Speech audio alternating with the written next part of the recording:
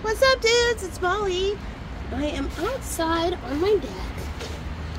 Um, I have the big, giant pile of signs. Let's see who comes out. Let's just see what messages are coming out. Oh, okay. We've got Leo. This is for sure for Leo. Leo. I just looked over at the Scorpio Sea Tarot. All right. Somebody's been watching forever. The number 22 might mean something. All right. Somebody's been thinking about this brand new thing they want to do. All right. Let's hear more. Message for Leo. Okay. Somebody's looking back at their past. All right. Somebody chose a karmic person rather than their divine counterpart. All right. This person may have been too shy. They might have been, uh,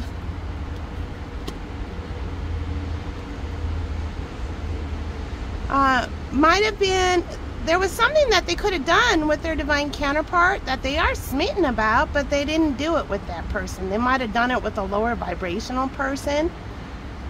All right. This person is has been thinking for a long time there's some sort of big thing that they need to do. Uh, and they've been thinking about who they want to do it. They really want to ask the person they, they're, the person that's caught their heart. They might have like gone out with somebody just to try something and that person totally, all they could think about was the person they like. Yeah.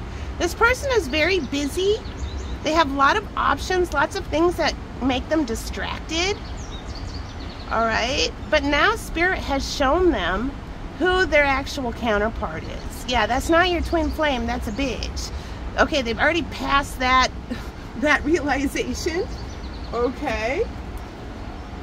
Tell us about that. What's what's the advice for that? Somebody may move. They may travel away from the person that's their karmic and go toward their actual person. Somebody might be a single mom I trust my inner wisdom. I am going in the right direction. All right. This masculine has been doing a lot of self-work. They might be on a spiritual awakening. There's this event, this thing that they have to go to. There might be a lot of small talk, a lot of chit-chat, a lot of things. This person might be called away for a little bit or something, and they need somebody who can handle themselves. Okay. I am a unique and worthy person. All right, I'm just looking at this apple right here. A caramel apple might mean something. Or caramel. Okay, tell us more. Whoa. Mastery. All right, spirits come in and showed this masculine uh, the perfect thing. All right, Cancerian energy here, Piscean energy here. Okay. Here's a whole story. King of Swords. Okay. Something legal might be going down. Spirit showing somebody who stole the rightful blessings from somebody else. All right. Um so this somebody somebody took uh opportunity away from somebody else and now they're getting their horrible karma. It's through work. It's through a work thing. Okay?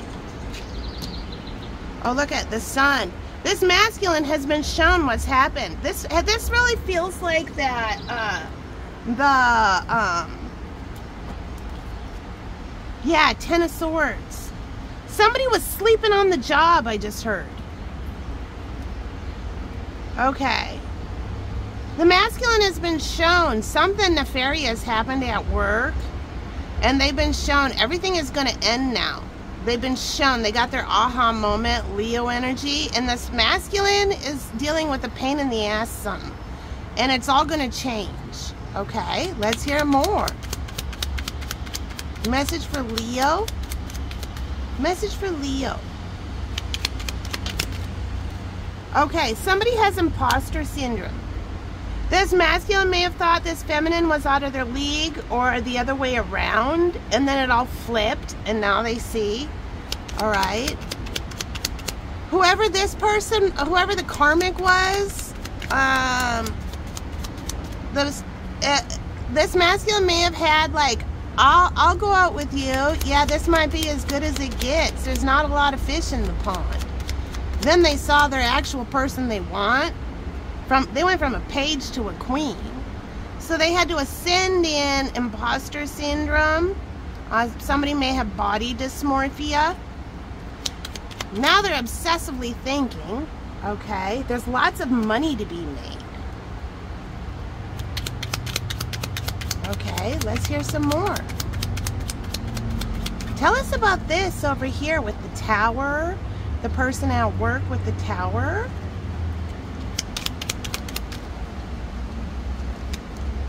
Knock on the door. Somebody blocked the opportunity. This is the doorman that blocked the opportunity.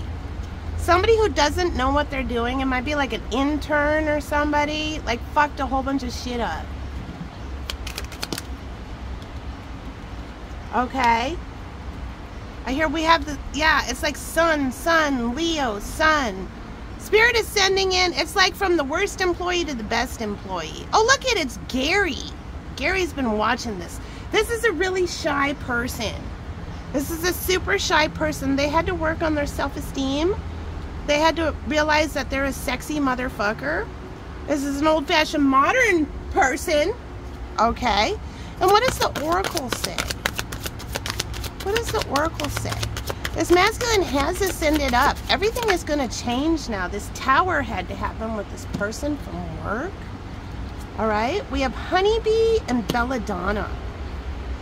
All right. Tell us more. Tell us about the honeybee. Tell us about honeybee. I am too big of a gift to this world to feel self-pity. That's masculine. Yeah, he found somebody that excites his intelligence. All right. Might have found a queen bee, which got this masculine to ascend up into into emperor status, I hear. All right, tell us about belladonna. Fleetwood Mac might mean something. Okay, right when I said that, this came out. I eat well, exercise regularly, and get plenty of rest to enjoy good health. All right?